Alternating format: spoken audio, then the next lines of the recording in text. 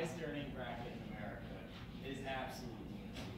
So the, the fact of the matter is, we have actually had tax rates that are higher than seventy percent. This is absolutely true.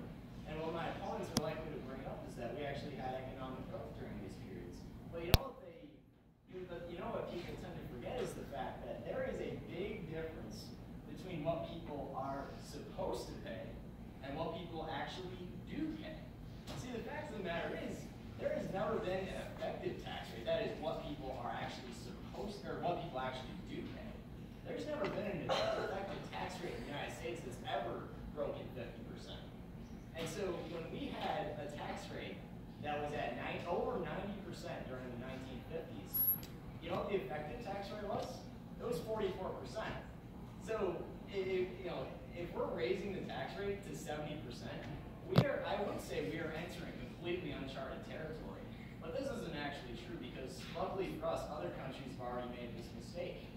See, if we want to look at France, for example, they have a very high tax rate on the upper, you know, on the highest bracket, um, yeah, in their system. And they are currently sitting at 9% unemployment and a median income of just over $30,000, which is roughly half what it is in the United States.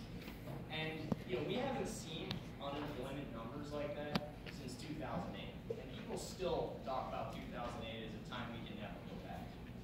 So you know, the logic behind the 70% tax rate just isn't there. And I might add that you know, in the in the later half of, yeah, or rather in 2014, um, you know, the effective tax rate, that is the rate that people were actually paying in taxes, was at 36%. It was only a couple points lower than it was in 1950.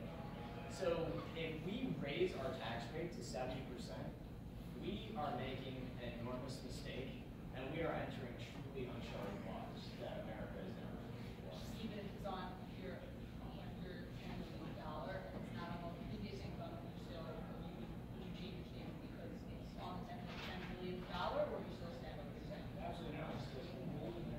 What they have like over a thousand millionaires in France each year now because of the tax policy?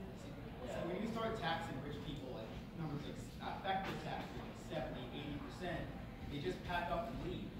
When they leave, you don't get any of their money at all.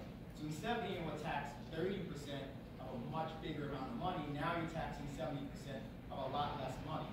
That's why when Ronald Reagan actually had his tax cuts and cut tax rates by several percentage points, the actual tax revenue the government brought in actually went up by like 0.1, 0.2 percent. Why? Because, well, one, because he cut out a whole bunch of loopholes, and then second, a whole bunch of money that was being kept in Swiss bank accounts, these millionaires and billionaires finally felt comfortable to bring that money back to America and actually invest it here instead of keeping it overseas. And that's, so in France, where they do have that high tax rate, uh, millionaires, a lot of times they leave, they put the money in some Swiss bank account, and the government never gets it anyway, and then the economy suffers. Yeah. Yeah, and I'll tell you when the millionaires leave, that's when you'll top quintile paying less of the tax burden that we were just talking about. That that's they're going to pay even less if you have all the top income earners leaving and storing their money offshore.